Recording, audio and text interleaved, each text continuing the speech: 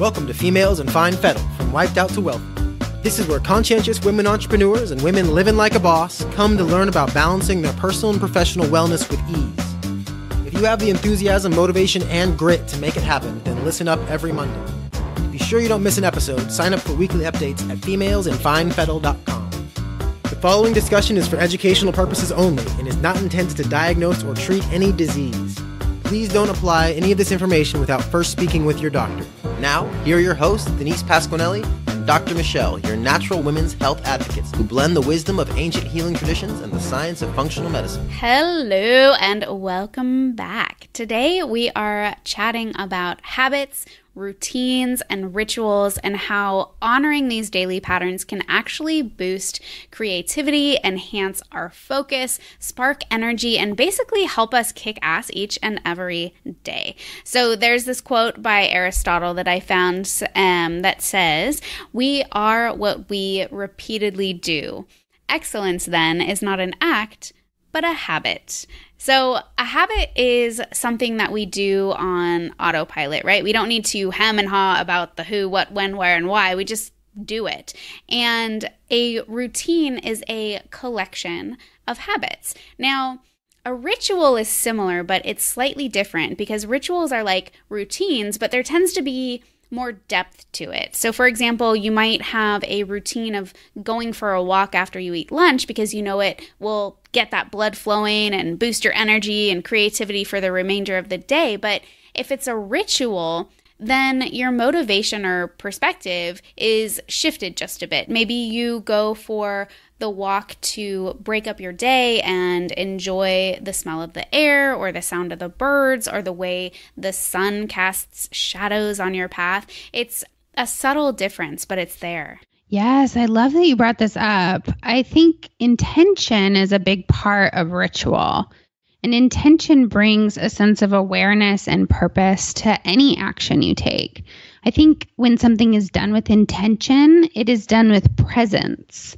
And with presence, we can have a more rich experience. So, all the things that you just mentioned about noticing the birds and the smells in the air and the way the wind feels on your face, tapping into all of those sensations is such a gift. And it's something that we can bring to any of the actions that we take in the day. Totally, totally. It's really that that mindfulness piece. It's super powerful. So, when we're, you know, sleeping into the last second, rushing out the door with our liquid breakfast, listening to podcasts on double speed, and working through our breaks, having a routine doesn't really seem like an option, right? But the thing is, once you start integrating a routine, you will never go back. I promise you. There's something magical that happens. It kind of turns into a sacred self care practice that your body, mind, and spirit needs to feel like you can have the best day ever. So, starting out, it can seem pretty daunting, especially when we have so much on our plate already. So, today, Denise and I are going to basically break it down into some easy and actionable steps for you. But first, Denise is going to share a bit about why routines and rituals are so deeply ingrained in our physiology. Yes. So it turns out that our big, beautiful brains still have some old school wiring from the days when we were a lot more animal. This hard wiring can be challenging at times as our brains are still wired to notice and take in the bad stuff more than the good. This is called negativity bias, and it's pretty fascinating. Essentially, it means that our early mammal brains kept us alive by noticing and remembering the things that were scary, dangerous, and threatening. The more the brain was trained to notice those things, the faster the body could respond and get into a safe situation. Escaping danger and staying alive was rewarding, so this cycle continued. This is all pretty cool for early man, but it can be a bit of a bummer nowadays as the negativity our brain tends to pick up on is less life threatening and more likely to bum us out and keep us down. Hmm. But the upside to the animal part of our brain is that we are still quite susceptible to training it. This means if we practice doing something positive and rewarding that positive choice, we can train the brain to keep it up until it becomes an automatic response. So, if you have pets and you have tried to train them, you may be familiar with the key components of training that animal brain. First, it's important to identify a trigger. With an animal, this could be a whistle or a sound. For you, it could be something that you already do. I'm a big fan of building new habits onto things that you already do habitually. So, things like waking up in the morning, or brushing your teeth, having your morning coffee, or lacing up your running shoes. It could even be a little alarm of some kind if that works for you. Something that happens consistently, or something that could be consistent and that is distinct, is the most important thing for your trigger. Then, what's important is to come up with a preferred action or the habit that you want to make. So, this could be anything that you want. What's important is that it's clear for you what you need to do so you don't have to think about it too hard. And you also want this preferred action to follow that trigger that we just talked about. Next, it's important to reward yourself for doing that preferred action this is what's going to get it to stick in your brain as being worthwhile and important. Think of it kind of like that early man getting to stay alive. Having a positive outcome is going to train your brain to keep it up. So true. That reward is super important. The thing is, our subconscious mind doesn't work in terms of the future. So, your motivation is totally going to flop if you have these future goals that you're working towards. So instead, you want to try and focus on an immediate reward. Maybe it's that your mood lifts a little, or your mental focus is a little sharper, or maybe you do a workout or something and reward yourself with a protein shake afterwards. Whatever it is, it needs to be directly after the action so you continue and maintain that motivation. It's kind of a silly mind trick, but it totally works. Yes, I love that you brought that up. I personally struggle a little bit with the smaller immediate rewards, but I love everything that you suggested about taking note of how your mood lifts or noticing if your mental focus is sharper. Those are great suggestions that I really want to bring into my own practice.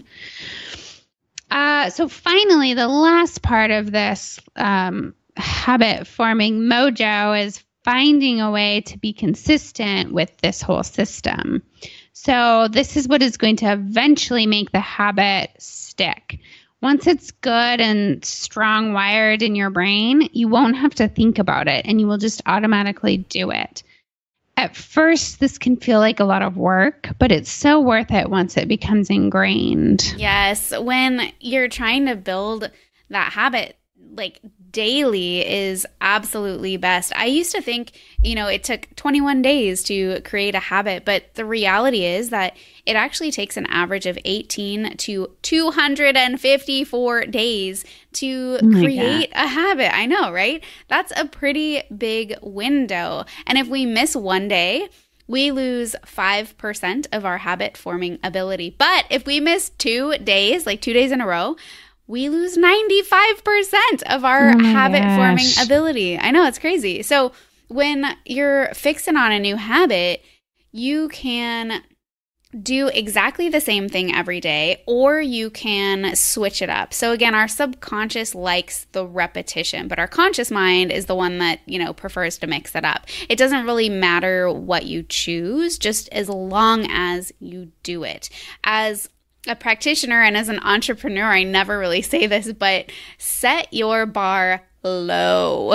Think of something that you could even do on your worst days. Those days when your inner two year old is stomping her foot and screaming, No, I don't wanna. like, for example, if you wanna start, you know, a daily meditation practice, just commit to one minute every single day, just one minute, 60 seconds. And, you know, if you do it right when you wake up, set a timer. Uh, personally, I use something called Insight Timer because it has these pretty bells and dings that you can choose from. And you can, you know, set the timer to whatever time you want. Full disclosure, I'm at two minutes a day right now because this is a practice that I'm trying to make into a habit. That's awesome.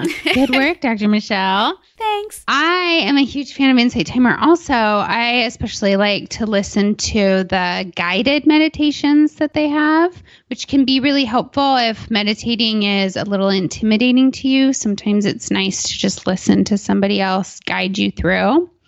And they're really helpful to me to keep me focused. And I love to ground into some of the new perspectives that I hear people share. So, listening to positive ways to consider things that are happening in my life, I find to be hugely meditative. And this repetition works those ideas deep into my brain.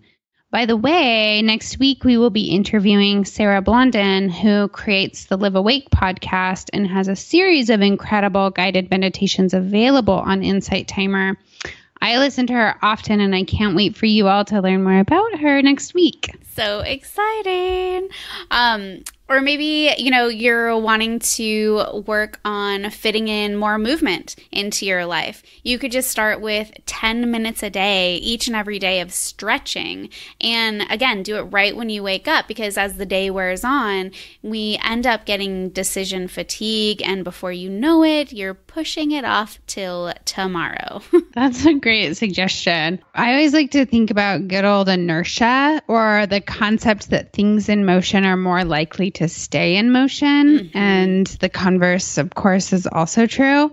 Sometimes just this thought is enough to get me up and dancing around just a little bit, at least for a song or two in the morning just enough to get me moving and keep me moving throughout the day. Love it. so, here we put together like five of the most impactful routines or rituals that you can start um, doing today that can really help with um, productivity. So, first, having a consistent sleep and wake cycle, yes, even on the weekends. We are diurnal creatures, right? So our hormonal balance is largely reliant on this yin and yang dance of our melatonin and our cortisol. And as you know, melatonin is our main sleepy hormone, while cortisol is our main awake or stress hormone. And this hormonal dance actually affects other hormones in our body. So, our sex hormones and our thyroid function. Um, from both a Western and Eastern perspective, the ideal bedtime is usually between 9 and 11 p.m. Um, that's when our cortisol our awake or our stress hormone is at its lowest and our melatonin our sleepy hormone is at its peak. And a lot of times if we're up past 11 p.m we end up getting that second wind because uh, our cortisol kind of starts to rise again and we feel this creative burst of energy and want to get everything done on our to-do list. Um, if we're asleep by this time all of that energy goes into restoring and regenerating and detoxing our brain and our body. All right. So, for number two, having a consistent morning routine that allows you to limit decision making and get your day off on the right foot. So, creating a little morning routine that you can just flow into first thing can make a big impact on the flow of the rest of your day.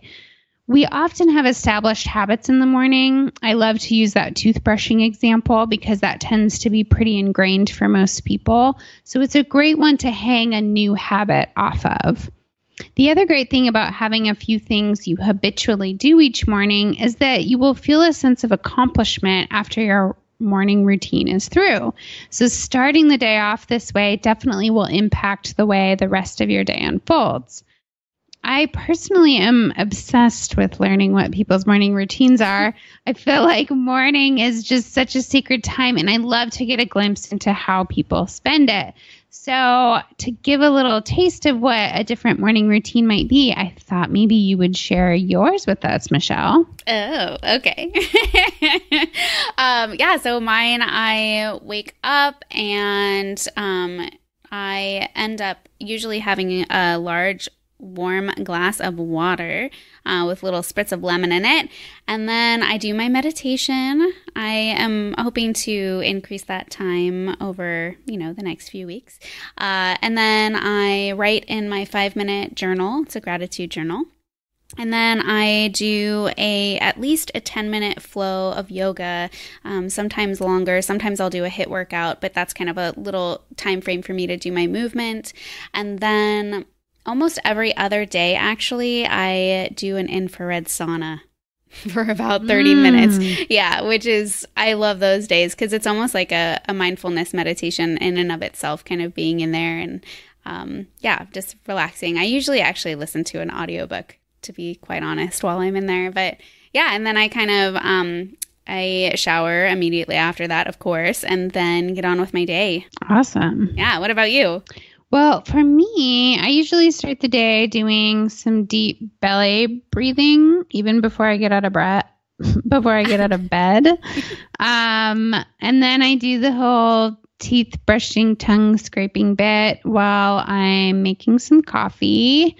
And I drink some warm water with lemon as well. And then with that coffee, I'll either do coffee or I'll do matcha tea and it usually has lots of fat in it and some collagen and some of my favorite adaptogens. And there's something about creating that tonic that is really meditative to me. It's just, I love doing it every morning. Mm. And then I will sip that while I'm doing some meditation. And usually I'll journal for just a little bit after that. And I'll then do like a dry brush, which I just that I find that really good for me. That's really wakes me up in the morning. And then I'll shower and make a smoothie before I head out the door. Mm, I love dry brushing. I'm going to start integrating that again too. That'll be a new habit so I'm going to start. I forget about how good it feels. Uh, it um, so sometimes I'll take breaks, and then once I start it up again, I'm like, ah, why don't I do this all the time? Seriously, it really wakes you up. totally. all right, number three: map out your big three the night before. So something that helps me fall asleep is to really map out the top three tasks that I need to get done the next day, so I'm not obsessing about them while I'm trying to fall asleep. This also helps to boost my productivity the next day because I have, you know, really clear direction and I know exactly where I need to start.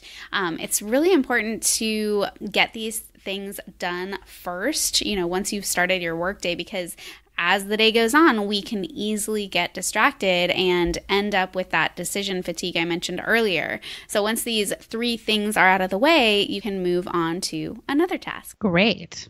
So, number four is to have an evening routine or a ritual.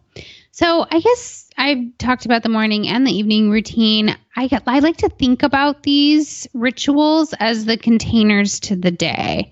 So, when you take charge of these really potent times of your day, you get to set the tone for the way you want your day to begin and end. And I noticed that this simple act can call back so much of your own personal power. So if you're feeling overwhelmed or out of control or desperate for some kind of change or stuck in a loop, using intention and attention to disrupt this pattern and reset it can be super powerful. So, for an evening routine, you'll know best how to wind your evening down in an intentional way. Um, for me, I love to shut everything down by about 9 p.m. So, no more screens and no more phone time. I find that this really helps to slow down and relax my mind. And I almost always take some sort of magnesium to support relaxation. And then I try to bring in some kind of grounding ritual. And so I encourage you to think about what would be a really great grounding ritual for you. It might be stretching or taking a hot bath or having a cup of hot tea, maybe putting your legs up the wall and breathing.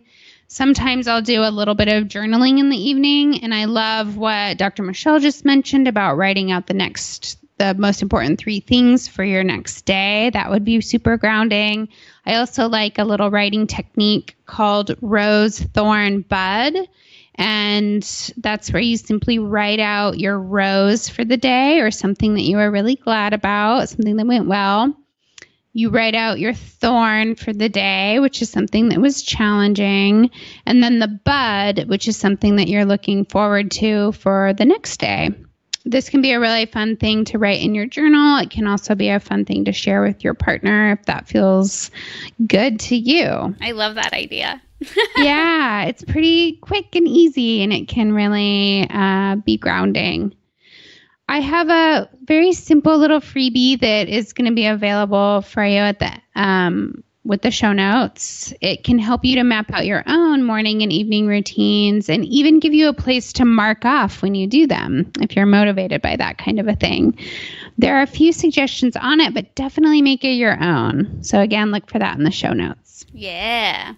All right, and number five is having a midday ritual. So, one of the quickest and easiest ways to boost productivity is to take a break. Seriously, the white space helps to clear out the brain clutter and helps you look at things with fresh eyes. An easy way to start is to create a lunchtime ritual. So, this doesn't have to be anything fancy, but just time that you set aside to eat your lunch. The key is to do it without distractions no phone, no computer, no plotting or scheming, just mindful eating. You can get to all that other stuff once your break is over. So if you have, you know, a half hour lunch break, try to split it up. 15 minutes of mindful eating and then 15 minutes of walking. Bonus points if you can walk outside and soak up some rays. So during the day, if uh, you're sitting at a computer, another way to get this sort of ritual or routine down is to get up and stretch um, or just bounce in place every hour or two. So, this will really increase blood flow and circulation and will help your energy and your focus. And you only need to do it for like 30 to 60 seconds, it doesn't take any time at all. So, that's what we have for you today. All right, folks. Hopefully, there is a tip in here that can make its way into your routine, helping to bring a bit of ease into your day. We cannot wait to meet you back here next week. In episode 40, we'll be chatting with Sarah Blondin of the Live Awake Project and creator of the Live Awake podcast. She writes and speaks beautifully about the importance of slowing down and turning inward. I think you're really going to enjoy what she has to share. Have a great rest of your week and bye for now. Thank you for listening to Females in Fine Fettle from Wiped Out to Wealthy, a podcast to fit your lifestyle. If you like what you've heard, please subscribe, rate, and review at femalesinfinefettle.com. If you have questions or topic ideas for upcoming episodes, we'd love to hear from you. Please be sure to tune in next week.